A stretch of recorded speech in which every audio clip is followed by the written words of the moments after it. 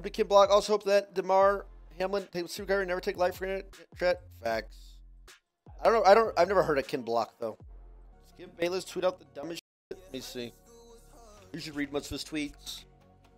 Wait, I don't think it's bad. It's it's literally what I just said. No doubt the NFL is considering postponing the rest of this game, but how? This late in the season, a game of this magnitude is crucial to the regular season outcome, which is exactly what I said, which certainly seems so irrelevant. Wait, how's this bad? He's saying exactly what I said. They need to consider postponing the game. Uh, maybe it's because he said consider and not they need to postpone. Maybe it's the word considering. Consider. I mean, everything. Is, it's that's literally just what I said. It's late in the season. How they gonna where are they gonna reschedule it? Wait, everybody's flaming him for this. Wait, what the? Fuck? Wait, this guy's getting ro- blasted on every comment. Wait, what the? F- what even? Am I missing part of this comment?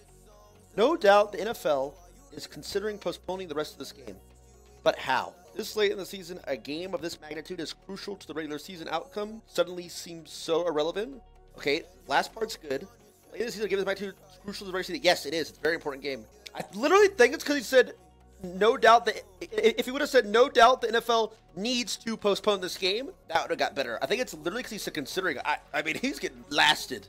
It says irrelevant. No, he said that the regular season outcome seems so irrelevant now. This is implying he's they should play it out. For me, I think I feel like he's implying, like he's saying that it should be they should consider postponing it. But when will it ever be rescheduled? How will this help or affect the season? I don't know, bro. I don't know. It's crazy.